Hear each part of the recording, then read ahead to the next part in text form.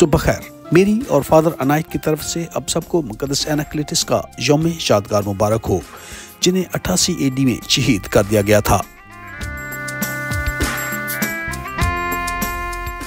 मुकदस पत्रस के बाद मुकदस एनाक्लिटिस दूसरे पापा आज़म थे और इन्हें मुकदस पत्रस ही ने कन्वर्ट किया था।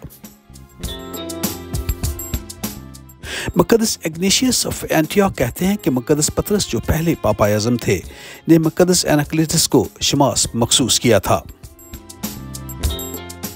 मुकदस एनाक्लिटिस यूनानी थे और एथेंस में पैदा हुए थे। आज की पहली तलावत, रसूलों के अमाल, उसका आठवां बाब और उसकी पहली आठ आयात। और अब शाउल ने बाकायदा क्लिसिया को नुकसान पहुंचाना शुरू किया, और इसलिए वो औरतों और आदमियों को गिरफ़्तार करके कैद खाना में डाल देता था।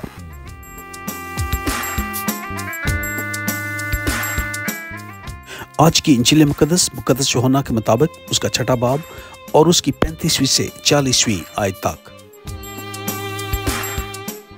मैं ज़िंदगी की रोटी हूँ, और जो मेरे पास आता है वो कभी भूखा ना होगा।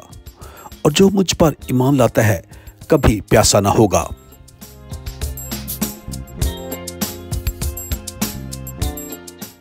कहते हैं कि मुकदस एनाक्लेटिस ने एक कानून जारी किया था, जिसके मुताबिक बिशप की कॉन्सिक्रेशन के लिए तीन बिशप्स का होना ज़रूरी था, और मुकदस पॉलूस रसूल ने इसे बाकायदा नाफिज किया था।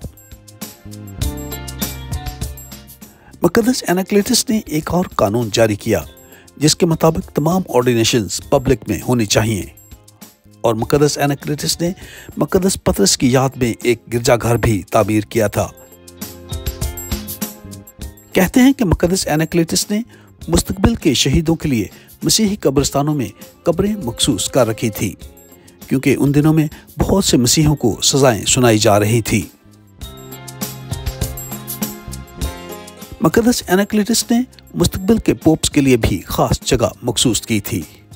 क्या हम मकदस एनाक्लिटिस की तरह क्लिसिया में नज्म जब्त का ख्याल रखते हैं?